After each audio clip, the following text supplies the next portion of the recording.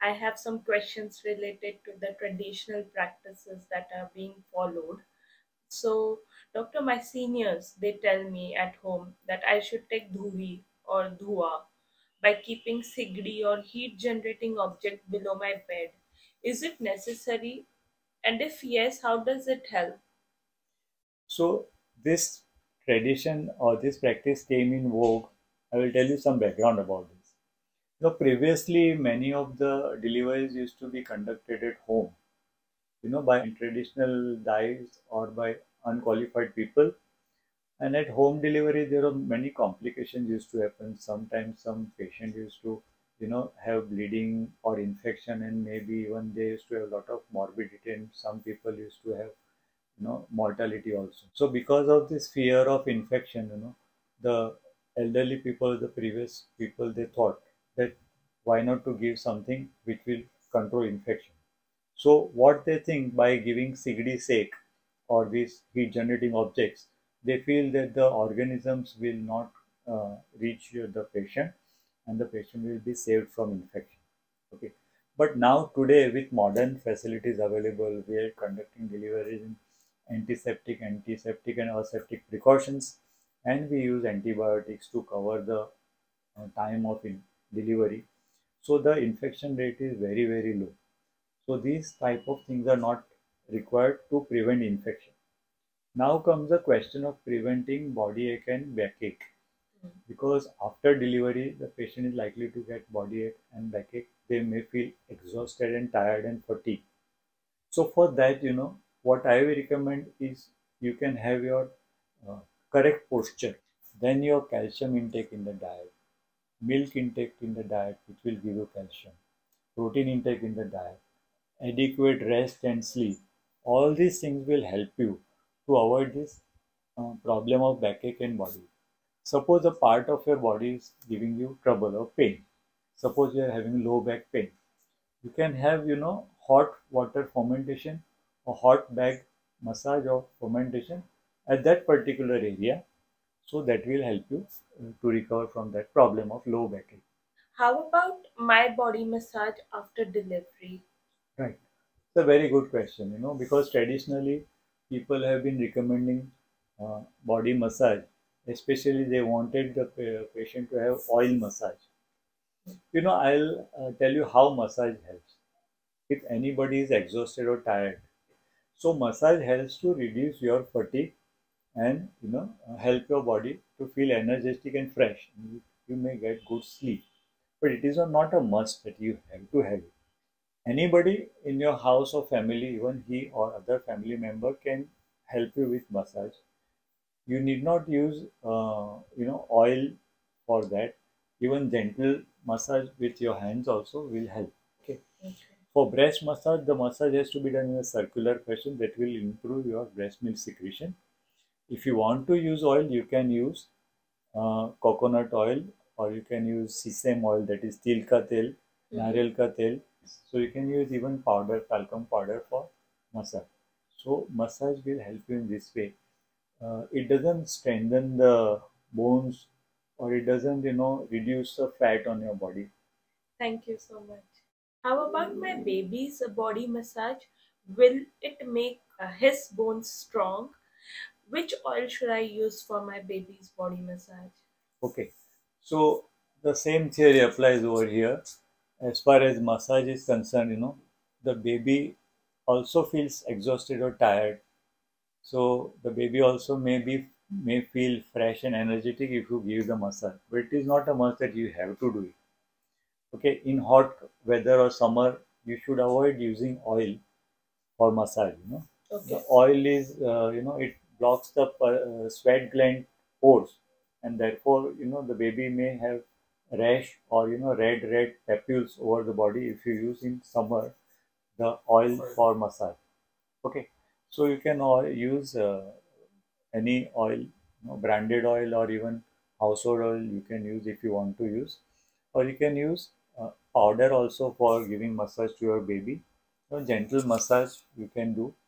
These massage is not for making the bone strong or making increase the baby's weight or something or make the baby strong, but they help definitely if the baby is tired baby will feel fresh energetic and will have probably some good sleep Okay. Thank you so much. Doctor, is belly binding necessary? How does it help? Yes, yes. So this is a very uh, common traditional thing, you know. All the mothers and mother-in-laws will uh, ask you to do that. You know, they, Yes. they they take a big sari or cloth and they tie around the tummy. You know what they feel that the belly becomes loose. So by tying this sari or cloth, it will become tight. So the thing is that once you tie it, you when you tie it, you feel it is tight. Huh. But once you release or leave it, the, again the muscles become loose. Means they, they are loose. That is just a temporary, you know, uh, satisfaction to your brain that something is tightening your belly. Okay. So it is scientifically it doesn't help. Okay. On the contrary, if you go for, you know, uh, you go for core muscles, abdominal muscle exercises, because your recti muscles have gone apart during pregnancy. Doing core muscles will bring them in the midline, close to each other, and therefore the divarication of recti will go, and you will have the recti muscles. Uh, core uh, muscle exercises will help you more than binding belly binding. in any way. Okay. So we should exercise and not bind. okay. Thank you so much. This helps. Basically, do- uh, doctor, I just want to ask, like, what are the basic restrictions imposed after the delivery? Like, few people says, like, elderly person's parents, they say, don't keep her below the AC, don't keep this fan on too fast, or let's say, don't allow her to read a book or uh, watch a TV, laptop, or screen time. Like, what uh, she should not uh, work so much. What is your view? Like, what should we do in this kind of scenario? Yeah, so it's a very good question, commonly asked question, you know.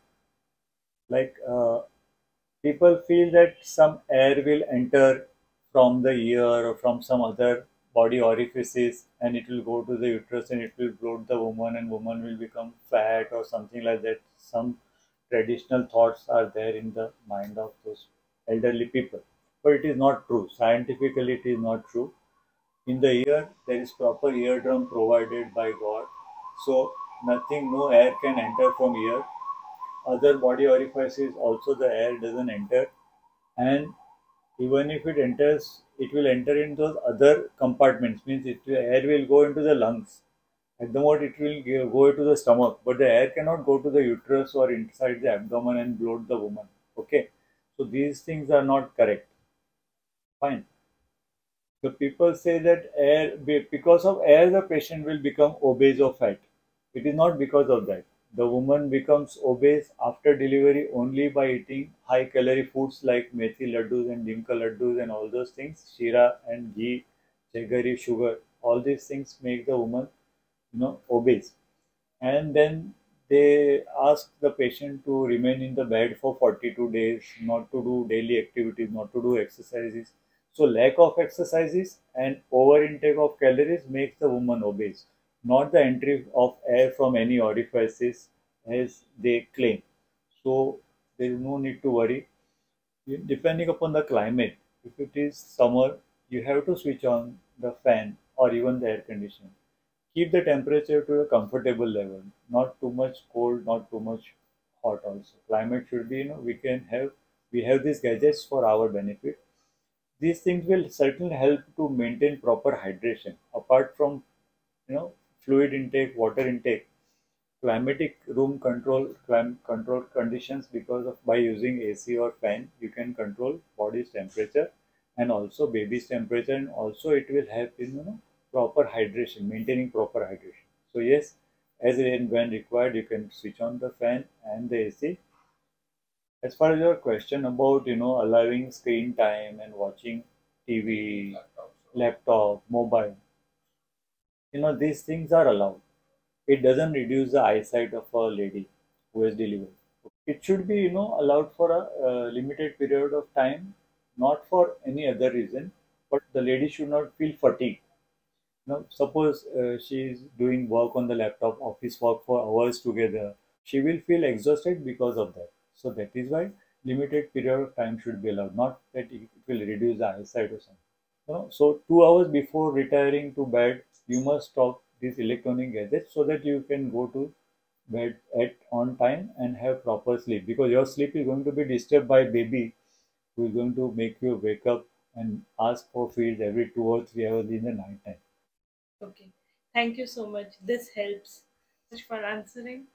And now I have more clear idea on what should I do and what should I not.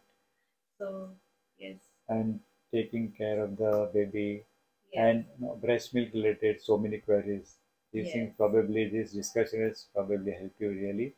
yes. So all the It was best wishes. Thank you. Thank you so much. Wish you all the best. Thank you.